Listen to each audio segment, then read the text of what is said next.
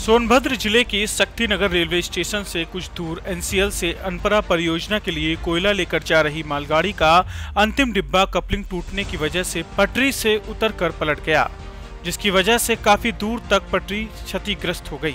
घटना के बाद अनपरा परियोजना के अधिकारियों में हड़कंप मच गया और मौके पर संबंधित अधिकारी पहुंचकर घटना का मुआयना कर रहे हैं। दरअसल नॉर्दर्न कोलफील्ड लिमिटेड की खदान से कोयला लेकर अनपरा बिजली परियोजना परिसर में जा रही मालगाड़ी कोयला खदान से कोयला लेकर अनपरा बिजली परियोजना के परिसर में जा रही थी। इसी दौरान शक्ति नगर रेलवे स्टेशन के पास सबसे आखिरी बोगी का कपलिंग टूटने की वजह से मालगाड़ी का डिब्बा उतर गया और दुर्घटना हो गई।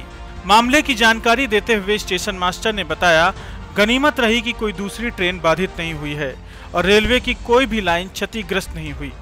एनसीएल की कोयला खदान में अनपरा बिजली परियोजना तक जाने वाली ये अलग से बिछाई गई रेलवे लाइन थी जिस पर दुर्घटना हुई है। फ़िलहाल रेल लाइन को बहाल करने का प्रयास किया जा रहा है। हम लोग का रेलवे का लाइन भी नहीं है वो हम लोग का बोगी भी नहीं है। हम लोग का रेल लाइन क्लियर है और हम लोग का गाड़ी का आवागमन सुचारू रूप से हो रहा है।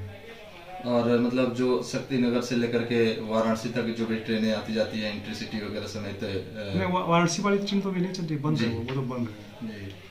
कोई प्रभावित मतलब इसमें हम लोग का कोई प्रभावित नहीं है। हम्म, वो परियोजना की लाइन परियोजना की लाइन होगी वो साइड परियोजना होगी हम पारा कमल की गई लाइन होगी।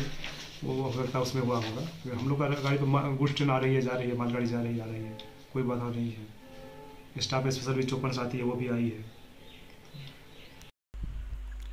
सोनभद्र से जनमत न्यूज़ के लिए सरत सोमानी की रिपोर्ट।